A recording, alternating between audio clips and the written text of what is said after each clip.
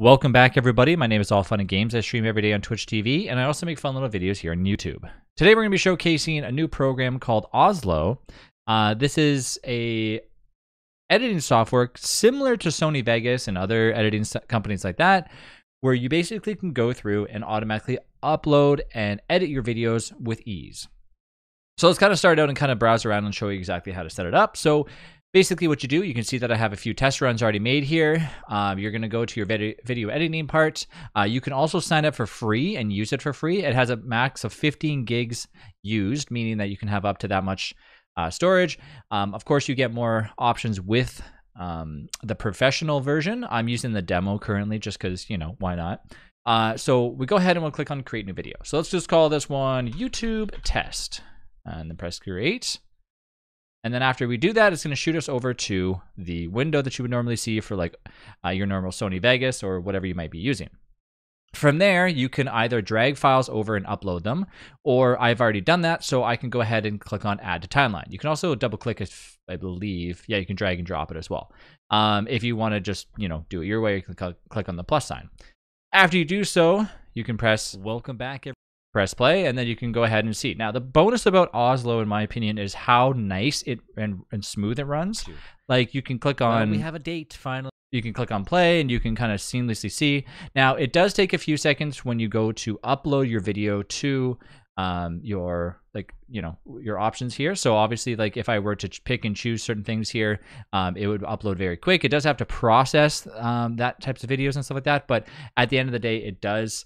Um, it does look nice uh, when it does get uploaded and it does upload very quickly. Um, and the processing time took me when i uploaded my 100 meg video I think it took anywhere from maybe 30 to 45 seconds, so it wasn't very long at all. Um, I won't update, I won't upload any of these, but I just wanted to kind of showcase, uh, you know, what it does show you. So if, as soon as you do that, there'll be a processing time. You wait a few seconds, and then you're good to go. Honestly, uh, it takes longer on Sony Vegas for it to sometimes process if I'm doing a very large video. This seemed very quick and and worked right away.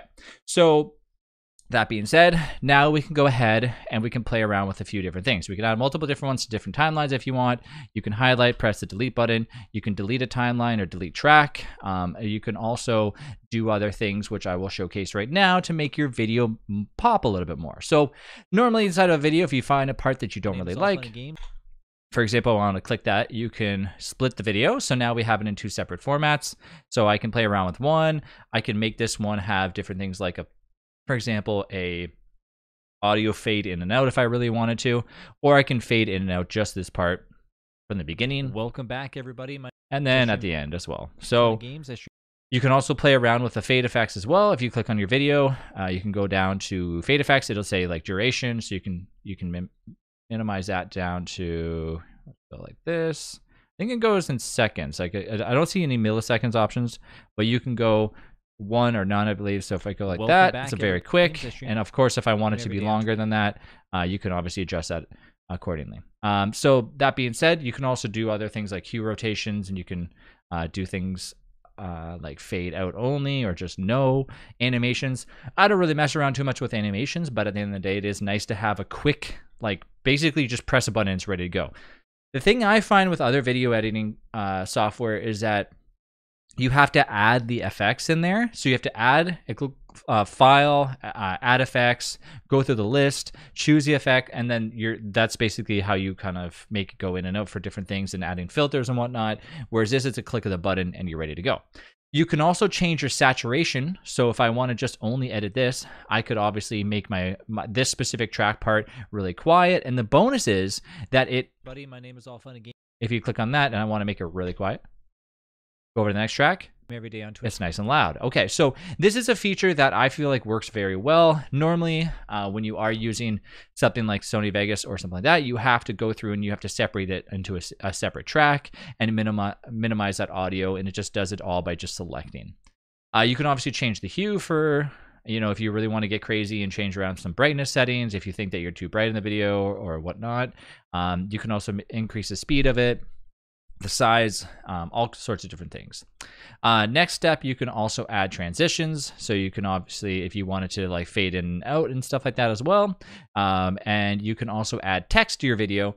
So adding text to your video is very simple. For example, at the very beginning, say at the just at, just at the start, I wanted to add text that said um, something special here, and I wanted to say you can either write on the screen here, or I believe you can go. So no, I guess I do have to edit it on on the very very. Uh, where's it at? Did I add the text there? I might have missed it. Oops. Go back here and try to edit this. See, I'm still playing around a little bit with it, so I'm still trying to learn a little bit. Um, oops, I know exactly what I did there. So I just got to choose a different one. Let's delete this one, and I can go like this and call start start of the video. And here we go. So now this will showcase at the start of my video. And if I only wanted to play right here, so we go like this. Welcome back, everybody. My name is All Fun and Games. I stream and now it leaves and it's no longer there. So this is a really cool and easy way to add text to your video. Um, I actually really like this a lot because generally speaking, whenever I am trying to add text um, in other programs, it's not hard to do. It's just very tedious. And this is a click the button and it's done. Not only that, you can extend it really easy, or you can place things really, really nice um, within you know whichever part you video video on. So if you want to start, at the middle, or whatever, you can do that. Now also you can add fade in and fade out options. we so you can be like, okay, hey, there it is, and um, there it's gone. that So that way it's a nice little flash event. Uh, you can edit um, and add quite a bit of different types of uh, fonts as well. Now, keep in mind, uh, I'm Well, we have a- assuming more options will be available with the paid copy. So, meaning if you were to get the premium copy of Oslo, you might have more options. Uh, but that being said, this is what I have limited to myself as well. Uh, you can also change rotations. So, if you want it to be sideways or you want it to be featured on a specific part, I think that's really cool because you can kind of just go like this, make it look nice and neat. Um, and yeah, and then you can obviously add filters. So uh, you can go through and say, okay, I want this part of my video to have a black and white filter, and then eventually I want it to, you know, have this or that or or whatnot. Now uh, you can also do that in your settings menu where you adjust the contrast, opacity, like stuff like that. So if I wanted to make this part of the video, you know, uh, kind of showcase a little bit less behind and I wanted to add like a picture in front, I could do that. So for example, if at one point of my video I wanted to add let's go ahead and add one of my pictures. So let's just upload a photo. And as you can see, it says processing, takes a few seconds, and there. So that's how quick it is to, to add something. Okay, so now I'm gonna add this photo. So I'm gonna add this photo here. And now this photo is on top of my timeline. So obviously I wanna move it down. I want it to be below, right? So we're gonna move this photo. Uh, I believe if I go to, I wanna move it down few more. So that way it's kind of overlapping. So if I click on this, it's going to showcase there, right? And then it's going to take over. So I want it to be below. So now we're going to go like this. little videos here. So now it's there. So, but if I click on here and I say, okay, you know what? I want to make the opacity a little bit more. And I'm now I'm going to play the video. every day on Twitch TV. So you can kind of see the video in the very back of it. And every day on Twitch TV, and I also Just like that. So it is an interesting effect to have. Now keep in mind, it's not, this is, this is just showcasing every day on what Twitch you, TV, and I also do fun little videos. what you could potentially do with your video. TV, and I also do fun little videos here. Now, I wouldn't really recommend doing that, but you know, it is different things that you can play around with. So obviously, Every day on Twitch, you can TV, go like and I also that and put it on top of your layer and just things to play around with. And honestly, it's really neat to be able to just add that really quickly, play around with the opacity. You can also uh, change the the picture like saturation and all that cool other things. So just lots of different features that you can just add in to Every make it look Twitch TV. more more interesting at the end of the day. I mean, I I like different effects. I like adding different things. So it is nice to just you know play around as much as you can to make uh, your video pop out a little Twitch bit more. TV, and I also do fun little videos here on YouTube. Okay, so if we move on to the next and last thing, you can add comments to your video. So basically, if you're going inside of a part of your video and you said, okay, look, I want to put a comment that says, please edit this out, OMG. And then you could go ahead and you can put that inside of there. So if I go over to this part and I go to comments, I don't see anything. But if I click here and I go to comments, I think it was right here that I commented on it. I don't exactly know where it was.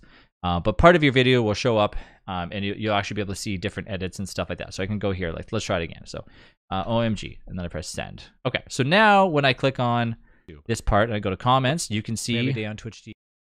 Uh, you can see that at 6:40, I wrote down "Oh my God," and then you know basically at that point you would have uh, you can go back and edit that part, or you can you know do whatever you like. So for example, if so if you're trying to edit your video and you want to say, look, uh, who's ever editing this video, please add in a picture of me smiling. I, I'm making a frowny face. You can add that in. The person could then put put resolve, and you know now that that has been since resolved. It's really crucial to put comments on your videos, especially if you're editing them, because you never know if you're ever going to have to go back and do it. And now, if you can just simply add a comment in there, it's very, very good to do this. So sometimes I'll make a video and I'll be like, okay, I want to remember that at this specific moment, um, I want to like flip the screen around or I want to uh, put a focus on my face or I want to focus in on, you know, something that I'm trying to showcase on camera. Well, I won't remember that, so I have to make a sticky note on my computer. Well, you can just do this all on here. Now, keep in mind, Premium could offer a different feature as well. Um, and like I said, more fonts and all that other stuff. But obviously, at that point, I don't have premium. So that possibly could be another video in the future. I just want to showcase how it looks for the demo for, available for everyone. The last and final feature, which I think is probably one of the best, best options to have in something like this, is the options to chat directly to support. So as soon as you click here, uh, you can type in whatever you'd like, and you will receive response from an actual live chat. So, of course, on the weekends and certain days, you won't have availability, but you could talk directly to support. Hi, I'm having issues doing something in Oslo. I would really appreciate um, some, eh, some input. I would like to know how to add text, or I would like to know how to make the text color change, or something like that. You can get live support just by clicking on that. And I think that is awesome. I haven't test ran it yet because I didn't obviously want to do it, but um, I would expect their response to be very, very quick. This is a new software that just came out. Um, the website runs amazing. I've not ran into any issues. It loads very fast. The video speed. A date finally, um, and that is for the sunken sea. As you can see, runs very well too. And I mean, this is all taking away from your hardware on your PC and putting on directly on the web, meaning that your computer doesn't have to do any of the processing. Another final feature that you can do at the very end is click export and it'll say publish to YouTube when exported. And that is the final part of this whole situation. Meaning, at the end of all this editing, at the end of all this stuff, you just do a simple export directly to YouTube and that is actually probably one of the like the little cherries on top of the cake because in the end that makes it so much easier to just click a button and have it right then and there go straight to your youtube channel. So yeah that is oslo. Go ahead and check it out. Um, i'll put a link in the description where you can find it. It's free to use. I would suggest trying it out and see if you enjoy it. And then like i said if you do enjoy it feel free to use a premium.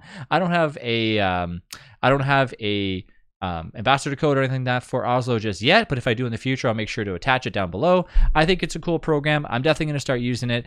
I don't really see any reason for me to really keep uh, Sony Vegas around anymore because when I export this file, I've already tested it and it exports really well and it looks nice and it's kind of just as if I'm exporting the same file that I uploaded, so I'm not using any, I'm not losing any quality, which is a big thing for me.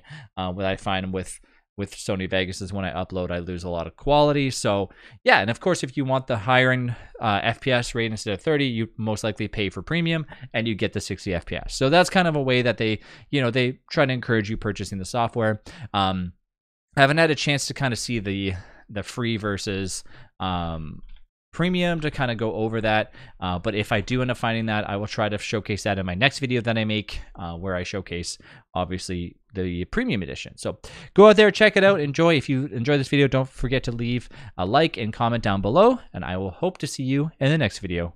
Good luck editing out there. Thanks again for watching.